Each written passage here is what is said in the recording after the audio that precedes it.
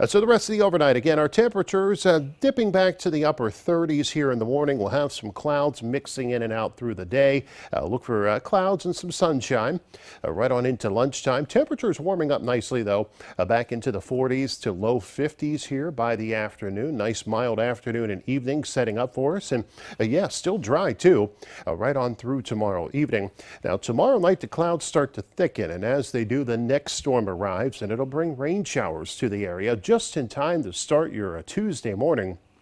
And I am looking uh, for these rain showers to stick around uh, through the first half of your Tuesday. And then as we uh, approach midday and into the afternoon, watch the wind shift here. And that's going to drag into colder temperatures as this cold front drops on through.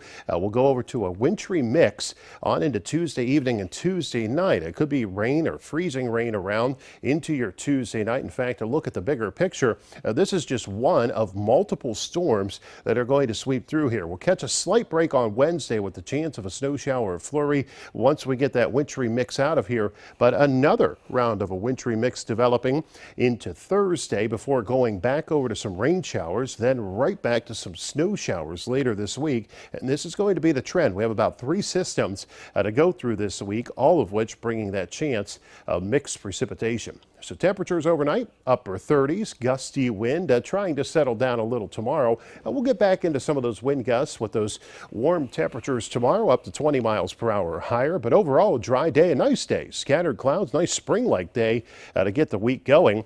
Rain showers Tuesday, mixing over to a wintry mix late, upper 40s and falling through the afternoon, dipping back into the 20s by Wednesday morning.